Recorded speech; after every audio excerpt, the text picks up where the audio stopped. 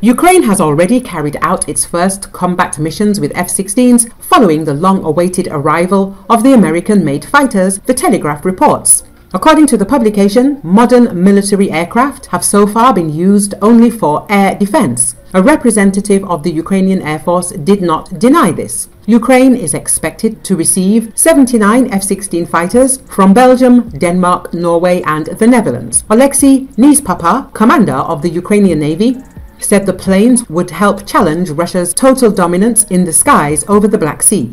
But Western aviation experts warn that the warplanes will not be something that will ensure victory for the Ukrainians. Earlier, media reports said that only six Ukrainian pilots had qualified to fly the F 16, meaning they would only be able to fly a limited number of sorties per day.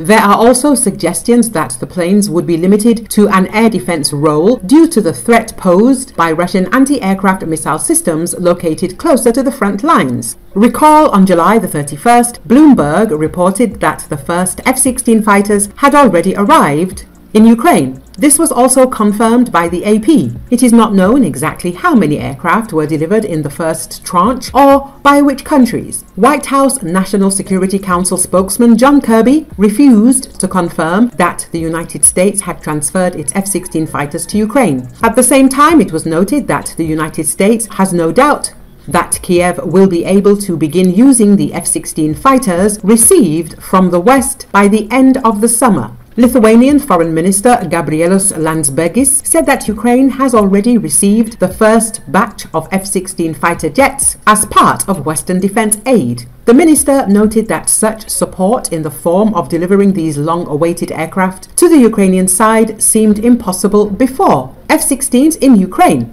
Another impossible turned out to be totally possible, Landsbergis stated in his post. Meanwhile, a US official told Reuters on the condition of anonymity that the delivery of the fighter jets has been completed. However, it remains unclear how many jets have been provided to Ukraine in the first batch and from which countries.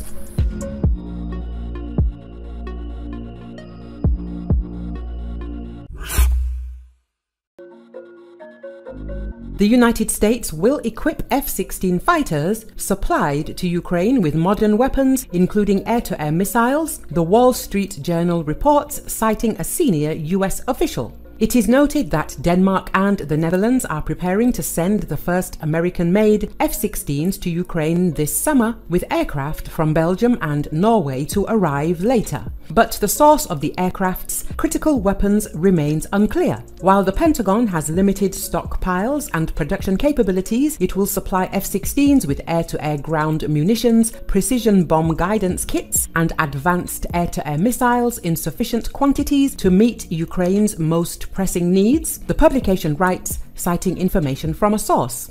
As Major General Rolf Folland, commander of the Royal Norwegian Air Force stated the aircraft itself is useless without weapons. The weapons the US is sending to the F-16s include the AGM-88 HARM air-to-air ground missile, extended-range versions of the Joint Direct Attack Munition Kits, which turn unguided bombs into smart weapons, and so-called small-diameter bombs. The US will also send the jets to the Advanced Medium-Range Air-to-Air Missile, known as AMRAAM, and the AIM-9X Short-Range Air-to-Air Missile. In Europe, many countries were reluctant to send large quantities of their limited stockpiles of air-launched munitions to Kiev, the US official said.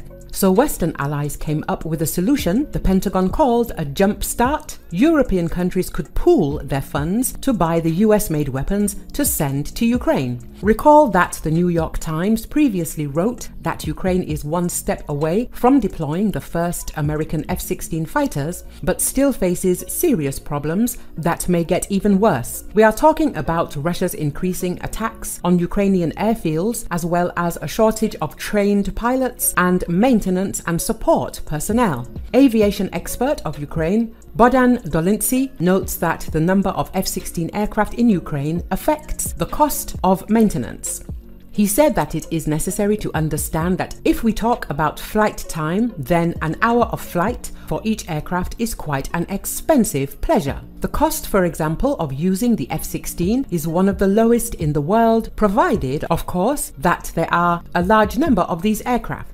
That is, there is data that the cost of an hour of flight is up to $5.5 thousand for the F 16. But this, of course, is for those countries that have a fleet of hundreds of aircraft, Dolenz noted. He added that if at the initial stages Ukraine will have a small fleet of dozens of aircraft, then this cost will thus increase three to four or more times per hour of flight. At the same time, on the other hand, in addition to the flight itself, it is also necessary to understand that the cost of ammunition is quite high.